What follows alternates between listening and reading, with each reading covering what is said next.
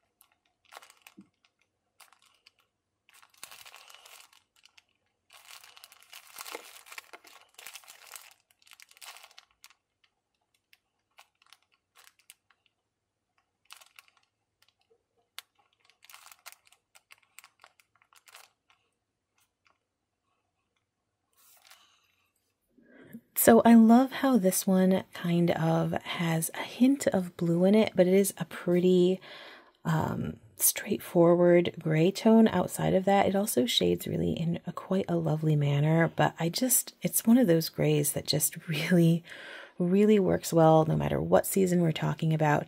I use it in one of my everyday pens in my everyday carry just because I know it's super reliable. It is, again, very wet, so it works on even quite dry, extra fine nibs, uh, which I'd had such a, a problem with for ages and ages. My Kaweco Sport writes uh, very, very dry, uh, and it is an extra fine. So this is one of the few inks that I know does not hard start.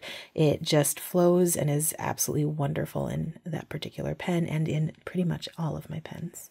Okay, my second ink of the day is going to be Colorverse Alpha Andromeda. I love this and I keep intending to buy a full bottle and I really need to because I'm almost out of this sample, but it is really, really lovely. It is quite a light ink, but one that I think works wonderfully well in a broader nib and it's just a beautiful, beautiful color.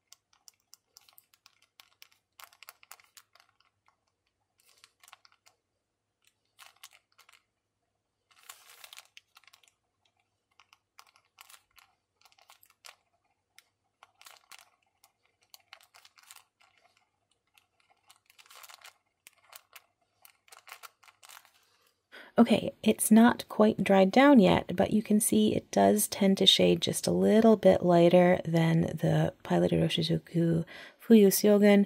There's not a huge amount of shading per se, but I just really love this color. Um, it is quite light, so you do need, I think, uh, a broader nib to make it really easily legible, but I do find it to be an absolutely gorgeous color, and I've used it in stubs to great effect, so would definitely recommend it. And you can see you do get a little bit of uh, haloing going on on the edge of the swatch, which does happen again in the broader nibs. Okay, next up is L'Artisan Pastellier Encre Classique Gris de Payne. Um, one, I'm terrible at French. Again, I say this every time. Please forgive the pronunciation. But Payne's Gray is really gorgeous. It is a slightly bluer gray than the Fuyu Syogun, I think. Uh, but it's another one that I use all the time. Uh, I really, really think it's a beautiful, beautiful shade of gray, and I would highly recommend it.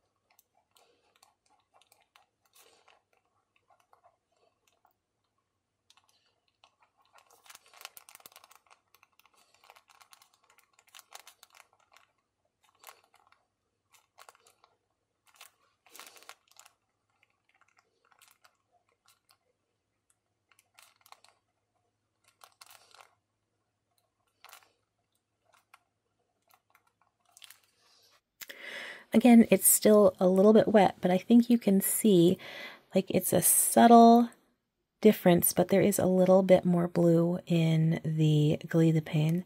So if you are a fan of slightly bluer grays, this one might be the one for you. Okay, next one up, another favorite. This one is Herbin's Vert de. Uh, I, again, don't speak French, but I'm pretty sure that means green gray. um, I have always loved this ink from the first time I saw someone swatch it. I don't even remember who it was, but it's just been a staple in my collection ever since.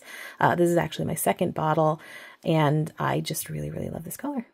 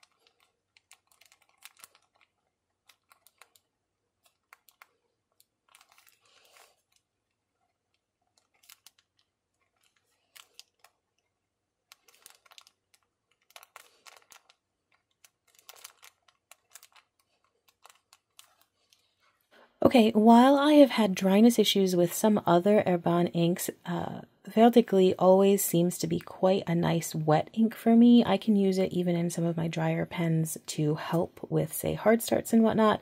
So if you are looking for quite a wet green gray, the Vert de Gris is a really nice option. It's also just, it's got a little bit more pigment than some of the other ones that we've swatched so far. And it's just, I just, I don't know, I just really, really like this color.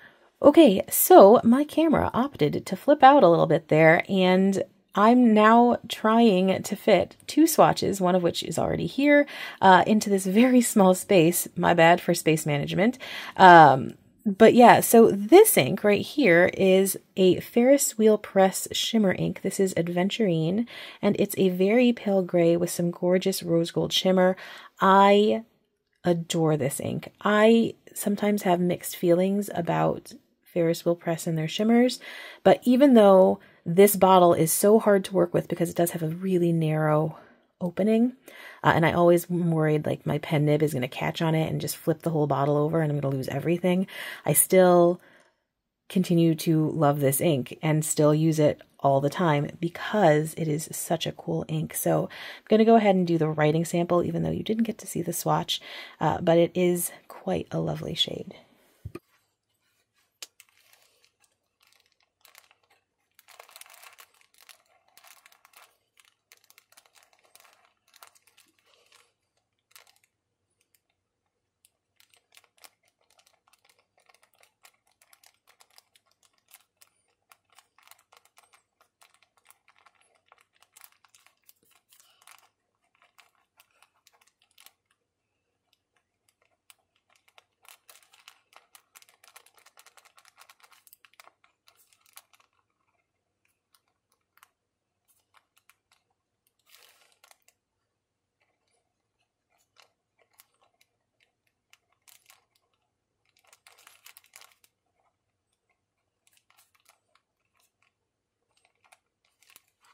Now, one of the coolest things I think about this ink is that it goes through so many different phases. When you first put the ink down on the paper, it's got almost a muddy, murky look, but then as it starts to dry, you get this really clean, heavy shaded, light gray and then all of this rose gold shimmer. And I just I just think it's such a cool ink and it does so many cool things and it's fun to actively write with. The whole process is a really good enjoyable uh, experience. So if you are looking for something like that Ferris Wheel Press Adventurine may be the one for you. Okay, the next one is a fairly new to me ink. This is one of Birmingham Pen Company's beautiful, beautiful gray greens, and this is Pondweed.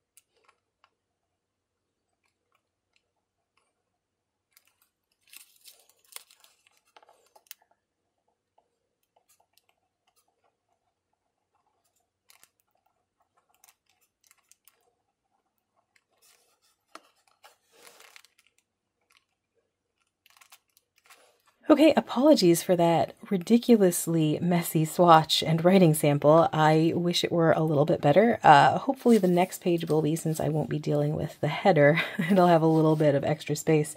But that said, Pondweed is just a really subtle green-gray, leaning heavily more towards the gray element of things, unlike the Verdict from.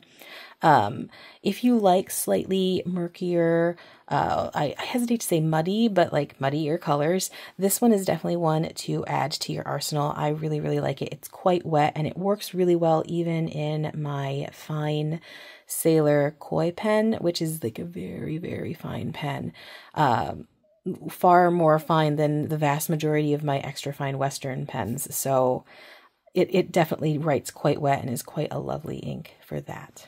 Okay, moving on to another Birmingham Pen Company ink. This one is Molten Tin. I have said this from the very first time I swatched it uh, several months ago. I adore this color. It is sort of a lavender gray, but when you first write, it has this really interesting like red layer to it. I I don't even know what makes it do that, but it it's so cool and I love any ink that sort of transforms as it dries down uh, enough so that you almost get zero of that hint of red at all once it's completely dry. So just again, another fun writing experience.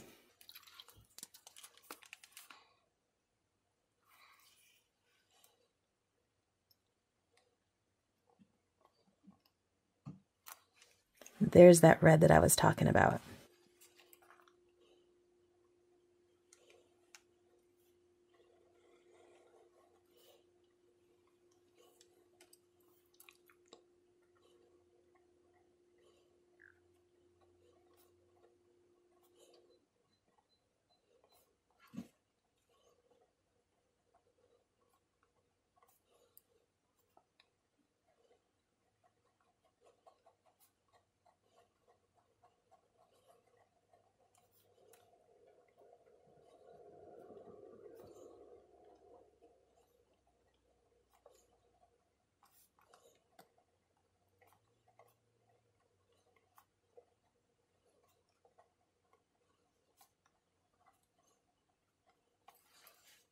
Now you can see here where it's still very, very wet compared to where it's starting to dry.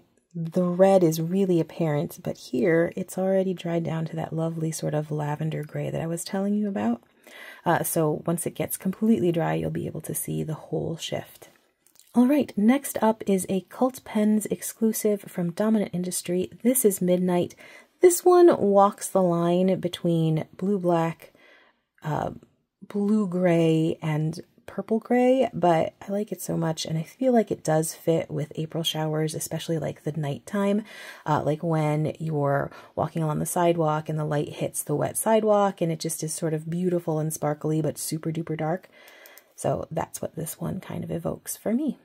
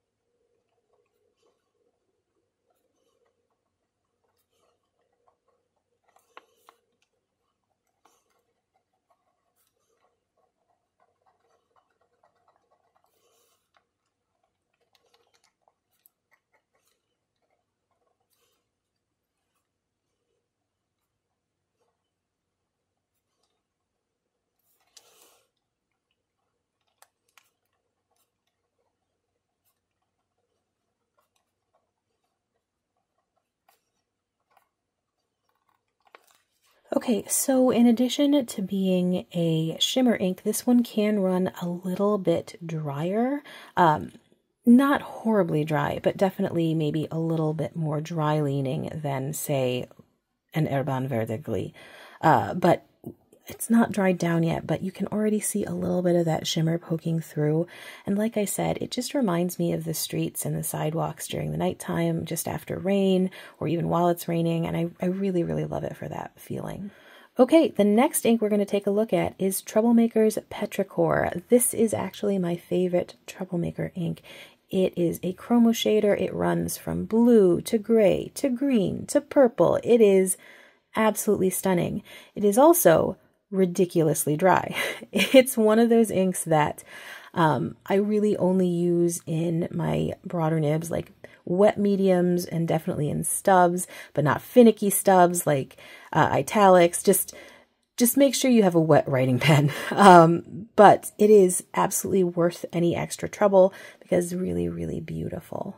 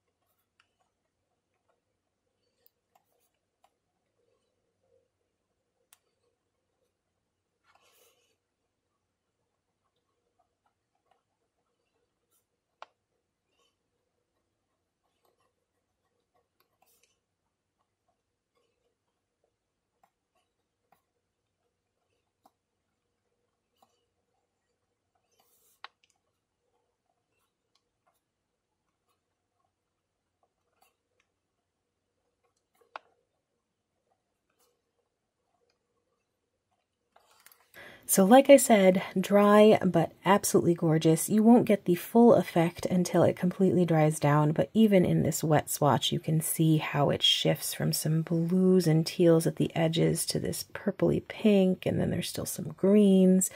And then here in the writing sample, it's just a fantastic, fantastic chroma shader. Next up is last year's Diamine Reddit collaboration, and that is Celadon Cat. Um, I actually had never considered this a gray green until I was really looking at my swatches, and it actually is a really beautiful light gray green and fits perfectly well with the whole April showers theme.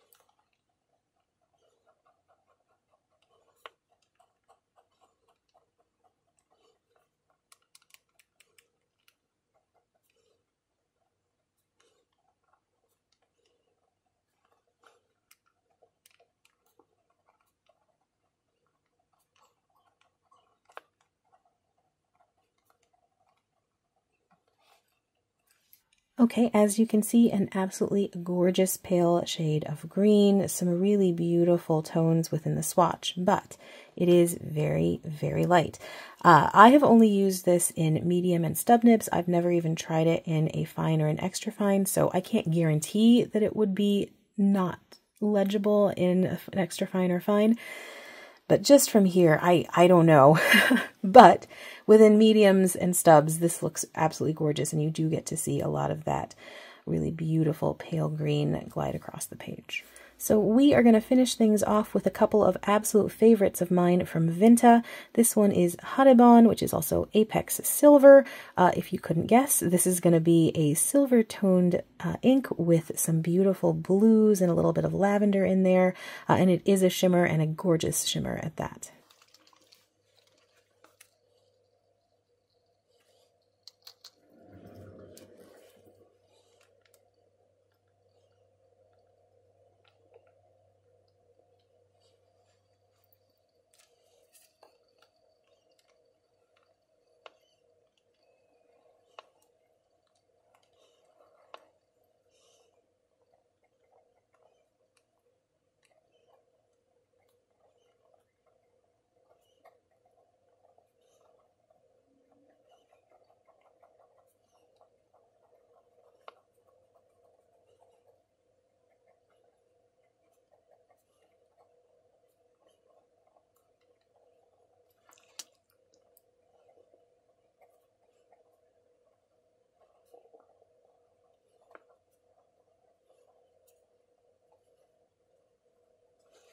Okay, I don't know if you could notice uh, with this particular lighting I have because I'm just working off of my natural light from my window, but when you first lay the ink down, it does have like a pretty standard sort of silver gray going on, but then as it dries, you get these pinks and purples and blue tones popping in.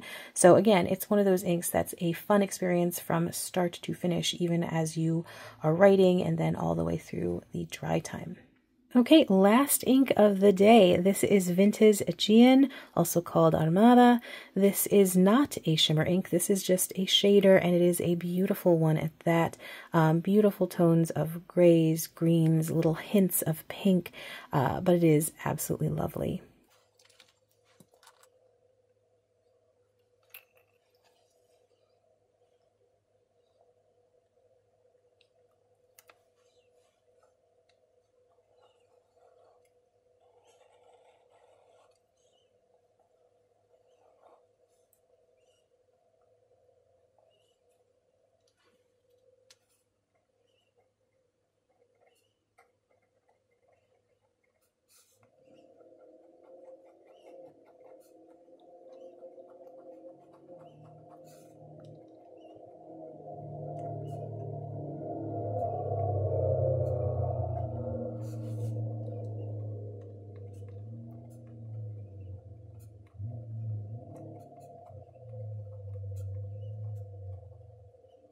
Okay, as you can see, there's some gorgeous shading already going on while it's still wet, but in general, it's just a really well-behaved, beautiful shading gray ink. I absolutely adore this one. I use it a lot.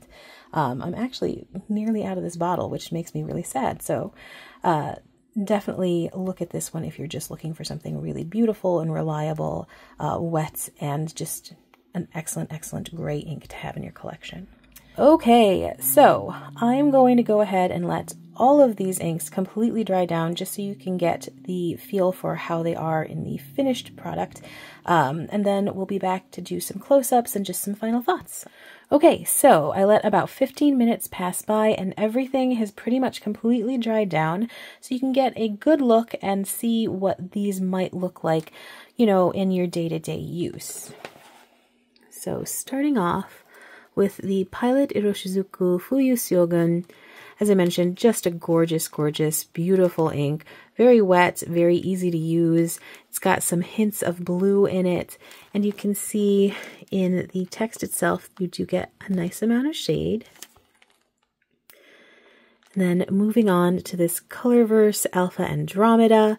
I really need to buy a bottle of this. I think it's just so pretty and I don't see as many people talking about this one, but you really, you really get such an interesting color out of it. Um, I do think it's a little bit light, so it might be better for uh, medium and larger nibs, but you know, I think it's absolutely worth giving it a shot. Here is my L'Artisan Pastellier Encre Classique Gris de Payne. Um, it's just a little bit bluer than the Pilot Iroshizuku Fuyu. Uh, some beautiful, beautiful grays. I think a good amount of shading, which you can definitely see in the writing sample. Please forgive the fact that I am terrible at writing with my Kakimori nib. Um, just got some advice from a friend, so I'm going to try that the next time around. But for now, this is where we are. But yeah, just a gorgeous, gorgeous shade of blue-gray. Then we've got Herbin's Vert Gris. I absolutely adore this ink. Very wet, very, very pigmented, especially compared to the inks that I usually go for, but I just think it's such a gorgeous shade of green-gray. Um, you can see here, when you do have a really broad nib, you do get a little bit of haloing around there with a teeny tiny hint of that sort of almost red sheen, but you do have to really lay down the ink, so it's not a normal occurrence. There's not a ton of shading here, but it's just a really good color. Now below is Ferris Wheel Press's Adventurine. This is a wicked pale gray. It is very, very light, but you can also see that there's a ton of shimmer in there, a good amount of shade. It's really, really lovely, works well in those broader nibs, and also makes a really nice wash when you're doing sort of watercolor projects, but I do really enjoy it. And below, like I said before, it is a pretty terrible swatch, and I apologize for that. Birmingham Pen Company's Pondweed. This is a beautiful gray-green. Um, definitely leaning towards the gray rather than the green. But it's beautiful. It shades really, really well. Very wet, works well even in your drier, fine nibs. And it's just a great color, I think. Okay. Here is my Birmingham Pen Company's Molten Tin. You can see the red has pretty much dried away, but that was kind of one of the things that I love the most about this ink is that it shifts so much. And now you're just left with this really beautiful blue lavender kind of gray color. You do get little pops of the red when you really lay down the ink, but for the most part, it's pretty standard. Uh, and it's just a gorgeous color, gorgeous color, I think. Right below there, this is one of my favorite colors, to be honest. Dominant Industries Midnight. It is a Cult Pens exclusive. You've got this gorgeous shimmer, if I can get that to pick up. And I said this before, but it is a little bit dry, but I think totally worth dealing with just because it does lay down this gorgeous color with that shimmer on top. And it's just a really, really, really pretty shade of sort of that dark, dark gray purple.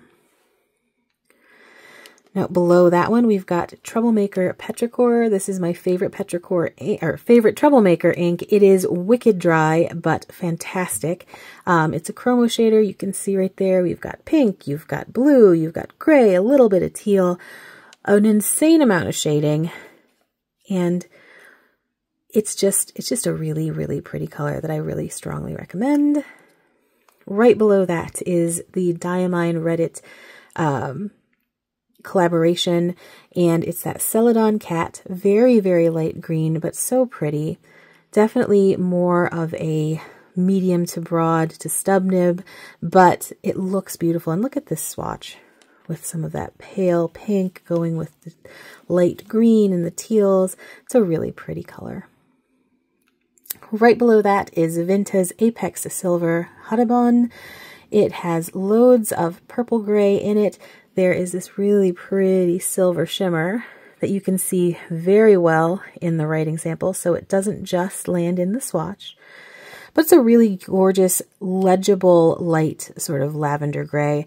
Um, I've used this one in fine nibs and it's always worked really well for me. So, you know, it's it's one that is a very comfortable level of shimmer, but still like very apparent no matter what. And for the very last is my Vinta Aegean or Armada. This is just a really beautiful, very shade heavy gray. I just really like this color. I use it all the time. It's one of those reliable gray colors that I know um, I'll always enjoy writing with and that will always be legible but still interesting. So also a big recommendation there. So yeah, those are all of my April Showers gray inks. I had such a hard time narrowing it down to 12. I will say this experience has taught me that I should probably stick to five or less inks per page when I'm doing these spreads because it, it does, I admit, get like kind of hard to sort of do the samples and really get a good idea of what a swatch looks like and everything. Uh, so apologies for trying to cram so much in, but I just, I really, really like gray inks and I didn't want to cut any more of these. I originally started with a list that was like 20 inks deep and I had to like cull it and it was so hard just to get to these 12. So 10 was not something I was going to be able to do. So we are where we are. In any case, Thank you so much for joining me today. If you have any questions about any of these individual inks, if you're curious about what inks I left out, please, please pop those in the comments below. If you have any experiences with these that you want to talk about, if they, be it good or bad, definitely feel free to share those too, because obviously I'm just one person, so maybe my experiences with an ink are not indicative of somebody else's. Uh, in any case, definitely comment. I love talking about inks. It's one of my favorite things to do. So always feel free. Uh, again, thank you so, so much for joining me. If you have made it to the end of this 12 ink swatching uh, video, you are everything that is awesome. And hopefully I will see you next time. Bye.